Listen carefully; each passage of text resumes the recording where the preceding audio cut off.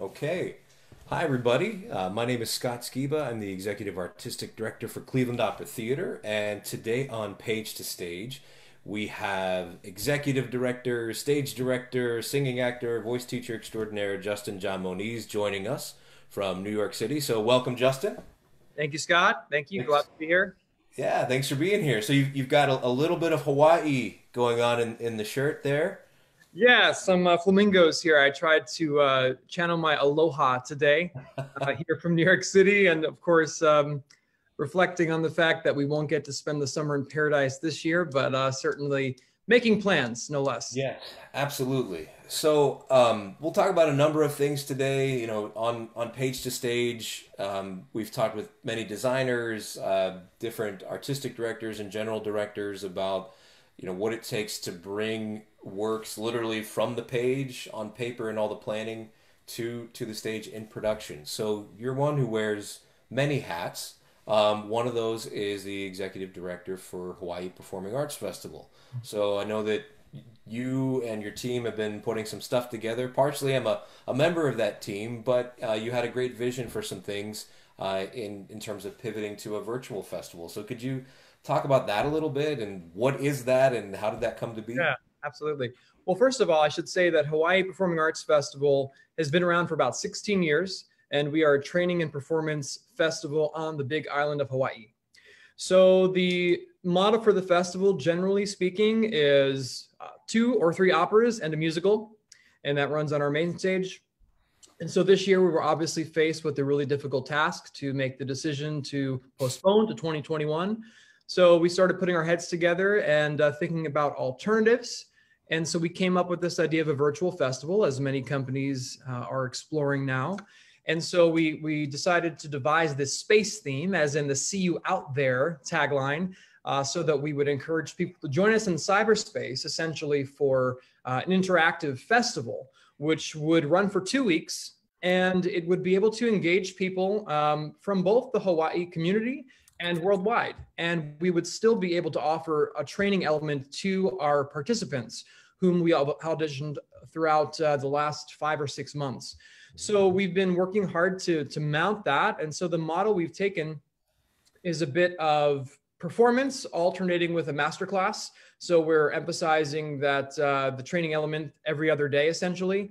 And then even though we don't have um, public lessons and coachings. Those will be private. We have the opportunity for folks to get an eye in on that process through these open masterclass forums and then a way for them to engage. So we're really excited about it. And we've um, done some really cool things in terms of that, especially uh, with the addition of our vocal competition, which is new this year. So any of our, I should say, contracted folks, contracted participants who were set to join us this year are able to enter that competition. And this whole festival is entirely tuition free. So we've tried to emphasize the accessibility element this year and to really reach people uh, worldwide and also those in the local community. That's awesome. That sounds great. Sounds like a lot of work. yeah, I would say so. It's a labor of love, as as many of these things tend to be, right? yeah, that's right. Um, so you know, as as an executive director, let's let's take a look at maybe the many hats that you wear um, in bringing a work from from concept to delivery. What are some of the things that that you do? Like what what does an executive director do for those who don't know or those who are, and those who are curious? Yeah, maybe I should start by saying all the things and or section E other duties as assigned. It's mm-hmm. probably a good place to start.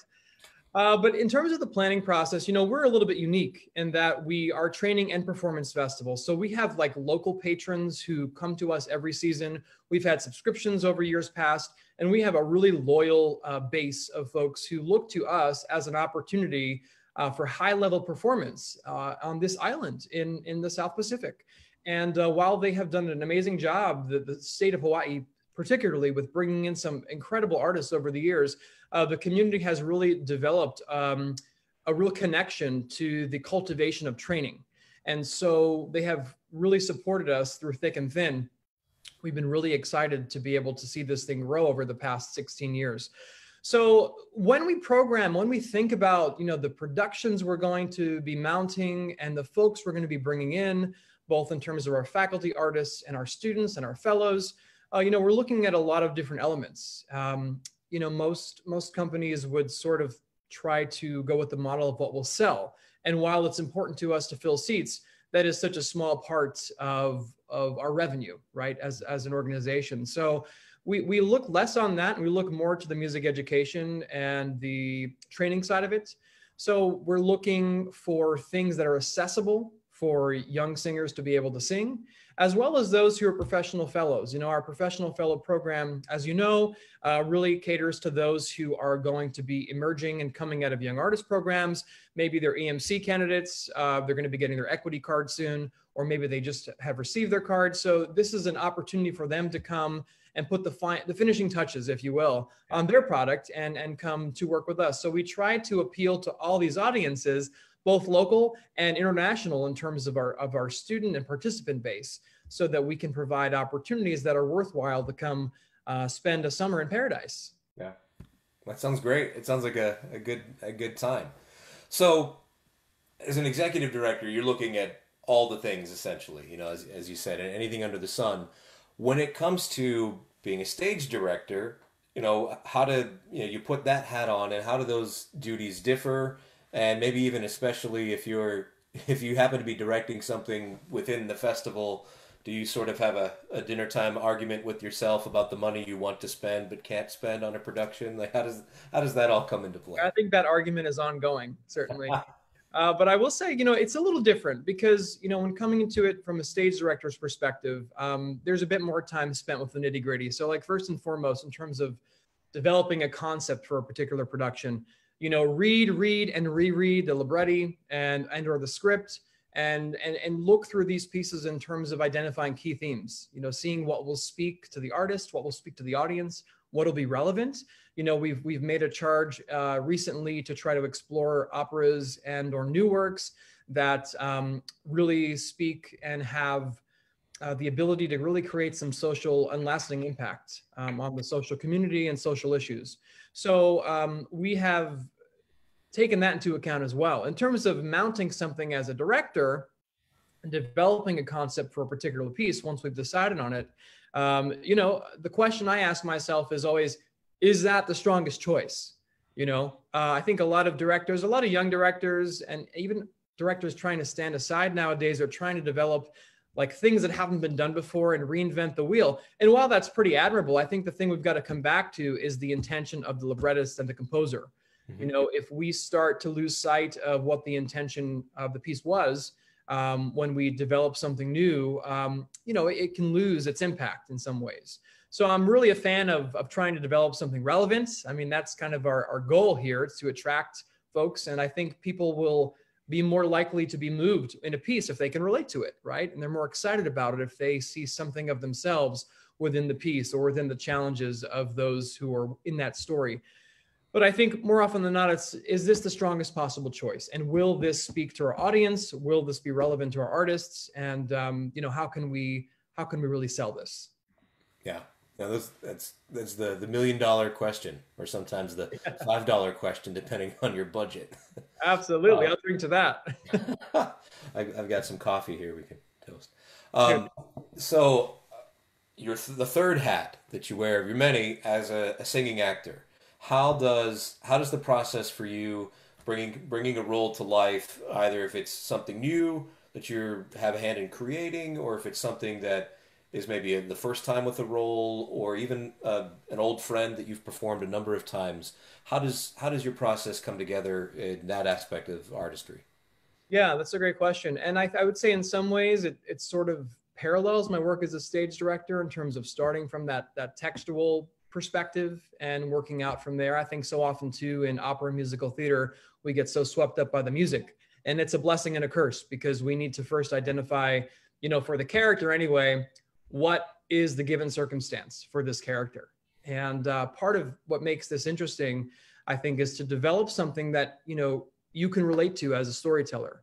So finding a parallel uh, in terms of what works for you, and you know finding the highest stakes in any scenario to try to allow the the character and the piece to have great forward momentum and great energy, and there to be a great arc that's developed throughout the journey of that character. So I think it's it's work that so so many of us sort of breeze through, but it's really important to spend the time just as you would if you were directing the piece and, and have those decisions made, you know, going into the room, because then there's so much more of an opportunity to engage in a dialogue with the stage director, the music director, and really start to play. And uh, as you and I have had the opportunity to do that, um, you know, some of the greatest collaborations are a result of that preparation prior to coming into the room. So if my, myself, if I can, as a singing actor, you know, have my circumstances decided, have my scenario, you know, what's at stake, if I can be sure to have, you know, defined something as minute and as important as my beat changes heading into a rehearsal, um, there's just so much more of an ability to then say, oh, that didn't work. You know, that that uh, beat wasn't wasn't quite well timed, or that that motivation didn't really give me what I needed, didn't read. So then we can really just explore and play a bit more. So I would say that it's a similar process to the stage director hat, but certainly a little bit more personal in terms of the individual's character work and what I can relate to, you know, as an actor. Yeah. And I would imagine too that the work, you know, the work you do as a director informs your work as an actor. The work you do as a, an executive director is informed by the experiences you've had as a director or actor. So they all work in a synergy that, depending on which perspective you're taking, gives mm-hmm. you some unique insight that you can apply. Yeah, yeah, absolutely. I mean, I, you couldn't have said it better than that. It's it's it's amazing to me now that I've stepped to the other side of the table as an administrator. You know, all the things like, oh, that's why that's done that way. Oh, now I get it. You know, and I just wish I could share more of this with folks, you know, who may not understand. You know, may not understand you know, I know there's been a lot of controversy, not to get controversial, but in terms no, please, of controversy is good. We'll get more likes. We'll get more comments, right? Uh, yeah, but, like us now if you don't like our Facebook page for Cleveland Opera Theater. We're about to talk about controversy. Yeah, exactly. So, but there's been controversy in terms of like, you know, young artist programs and charging application fees, and that's been a hot topic for years. You know, mm-hmm. why in opera do we do that, but why in musical theater don't we? And I mean, this is a discussion that's its own, you know, page to stage webinar for a later date. We'll have but, we'll have a week long session on that. Yeah, yeah, but but in terms of you know being um, on a shoestring budget and, and being able to send people to New York, to send people to LA, to to to face the overhead, you know, and to hire the pianist and all those things, I, I don't think anybody is is getting rich off this. I mean, that's certainly a, a given for most of us. Um, it's it's an opportunity to just cover the expense and allow the organization to stay afloat. Um, so yeah, coming to the other side of the table, um, I just feel much more well informed. And I think my work as a singing actor has certainly informed my work as a director, which has then informed my work as an executive director who oversees, you know, that entire process and uh, all the people on my team. Yeah, absolutely. And maybe the the final hat, certainly not the the least important, but maybe the one that's arguably the most important and maybe the most informed as an educator, as a teacher you know, with, with your work at NYU and, you know, you've taught at various places and deliver master classes and clinics and things, but how does all of that come into focus? Because you've, I mean, you've, you've been teaching for a while, but as you've done more and more things as a, uh, not only as a performer or a director and, and as an, an administrator, how does that come into focus in terms of how it augments your teaching? Yeah, I think I think it heavily informs what I do as a pedagogue you know, both within the parameters of my studio and my classes. Um, one of the greatest things I think for students is to have the opportunity to work with folks who are still involved in, in their given profession and are immersed in their industry. Because what it does is it allows there to be a direct transfer of knowledge and information to what's happening currently. And uh, that's one of the biggest gifts I think I'm able to bring my students um, is to just give them a continuous stream of what's happening in the industry and the industry's trends and be able to prepare them for those challenges accordingly. Um, you know, there's a great emphasis nowadays on versatility and flexibility. And, you know, years ago, I say this because I trained as a classical artist, but, you know, have always done musical theater and have now balanced a career in both worlds. You know, there, there's no siloing anymore as there once were, was, you know. So the really interesting thing is that we um, start to see these trends, you know, musical theater being produced in opera houses, you know, site specific opera that is being produced in a, a, space that's not a proscenium theater. And suddenly we get into different tactics and, and different approaches that we need to prepare students to engage in. That's just so different than the traditional training model. Um, and, and this is these are some things that you and I have discussed, of course, but I think it's important to be able to have that dialogue with students and with colleagues and to be able to engage in okay what are the trends?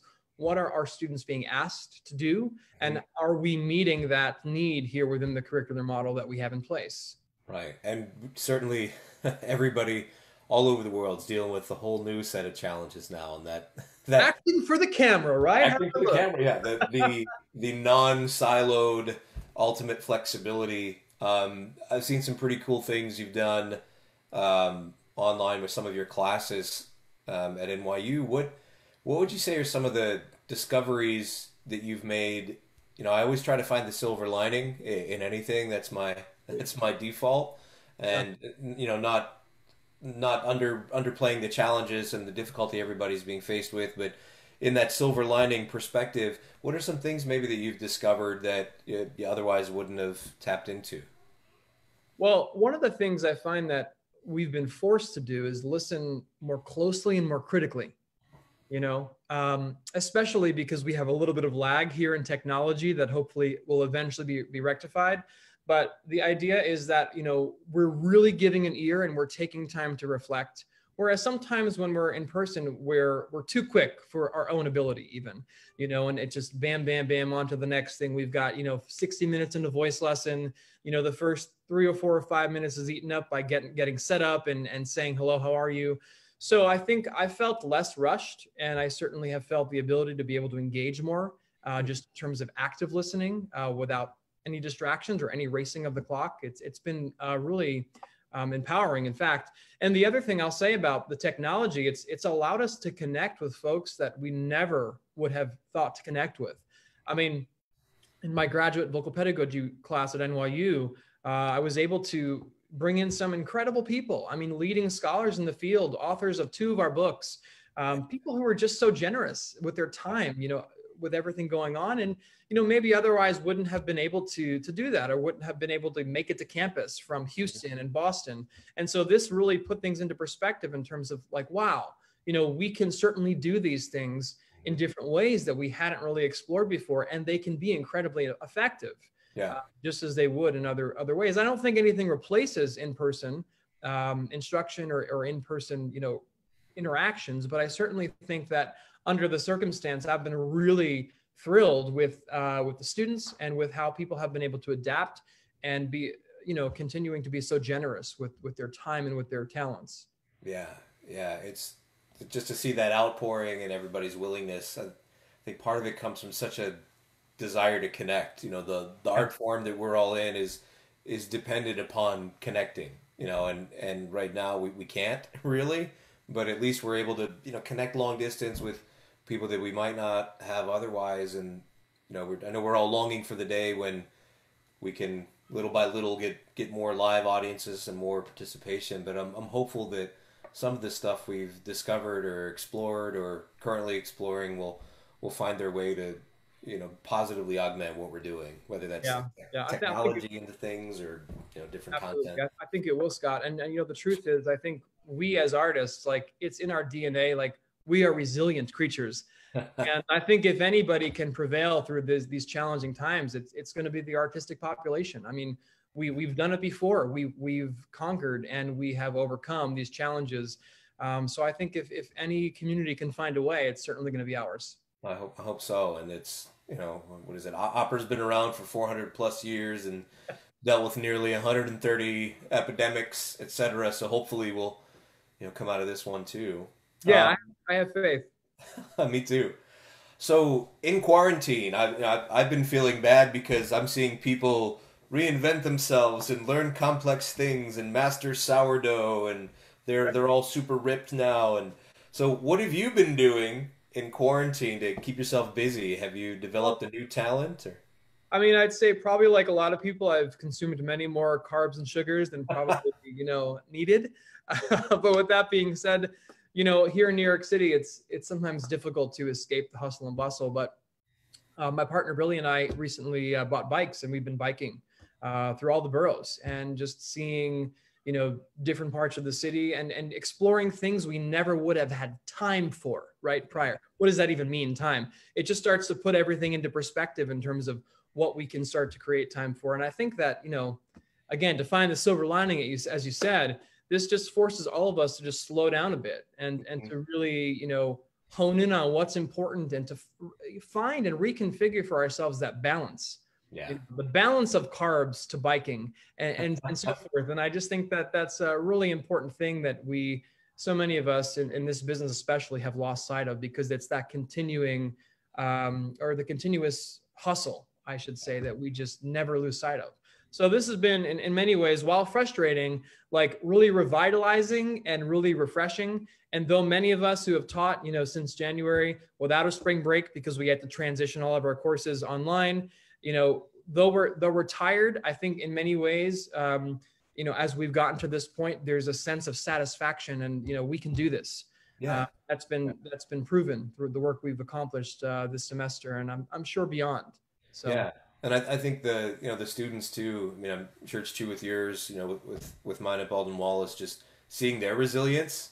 You yeah. know, and just the the ability to say, okay, this is completely different, and we've not done it, and this is weird, but let's do it. You know, let's let's finish it strong and let's let's be creative and you know that that's been inspiring. You know, any days that I thought, oh, how are we going to make this work? Well, they they, they showed me how. So well, probably the most difficult uh, challenge to discover how to navigate was an ensemble that I, I lead at NYU. It's pop rock ensemble. You know, how do you rehearse a rock band? Um, you know, in different states and different time zones, and and be able to put that together. And so we did. We we coached with singers you know, one on one. The band sat in on those coachings, and then everyone recorded with a click track, and then we had a listening party each week, and we were able to accomplish something great. And again, silver lining. Uh, a lot of these students who are musical theater majors have media now for their websites. They've got media for their reels, and uh, you know it's it's it's a great thing that none of us would have ever explored or been able to produce otherwise. So, it sounds awesome. How about uh, how about your dog Chance? Is he enjoying having you home more? Yeah, Chance is loving it. I would say Dr. Puffles, the cat, uh, is, you know, I think he's ready for some alone time. Uh, you know, we haven't left in a while, but but Chance, I mean, he's, he's right next to me 24 seven and he's living the dream. We go take out the trash, come back and he's crying. You know, it's, thinking, oh, we left him, but we've been gone for what, you know, two or three minutes. Yeah. So it's funny. Well, that's great, man. Well, thanks for, thanks for taking time to, to join us. Thanks for all the great work that you're doing. And, Thanks for giving us some insight into the you know, many different hats that you wear and, and how that all plays into the journey of bringing things to life from the page to the stage. And yeah, thank you, Scott. It's a pleasure to be here. And and uh, if I may make one plug before please, I start, please do. Um, I wanted to encourage our, our listeners to check out uh, Hawaii Performing Arts Festival's virtual festival this summer because it is free. It's it's entirely free to the public. Registration will open on June 1st and anybody can go to our website to sign up. It's hawaiiperformingartsfestival.org. We're also on Instagram and Facebook. You know, follow us, like us, and you can be a part of the magic that will be happening this summer. We've got some amazing people joining us this year. Um, we also have some celebrity guest judges for our vocal competitions, and I mean celebrities who will be uh, partaking in this. We're going to be announcing those soon. So, you know, join in on, on the fun, vote in the competition for your audience favorite which is going to be a, a, new part of this whole thing this year. And uh, hopefully, we can continue the magic of uh, live performance and um, you know bringing people together through this art form. So I hope people will join us and uh, continue you know following their hearts through this time. Absolutely, yeah. I'm gonna. Uh, I know that what we learned in that competition. Uh, I know we'll be borrowing some of those things. We had to. We had our gala and competition postponed here in Cleveland, so we're you know we're envisioning a virtual one as well. So cool. we'll, get, we'll get to see how we do with that. And I think I think the one of the the master class that I'm teaching for for Hawaii is in the slot that our Friday evening master classes are. So I'm just gonna hopefully guide everybody's attention over who would have tuned in on uh, Cleveland Opera Theater to join oh, us uh, for yeah. HPAF that night. I think it's July 17. Yeah, well, we'll look forward to your class as well. Yeah, well, yours too. Well, thanks again, Justin. Thank you, everybody, for for watching. Be sure to tune in uh, every weekday at 12:15, and also do uh, join us uh, this Friday evening at 6 p.m. Uh, for the next installment of our online masterclass. So thanks again, Justin. Thanks again, everybody, and uh, we will see you out there.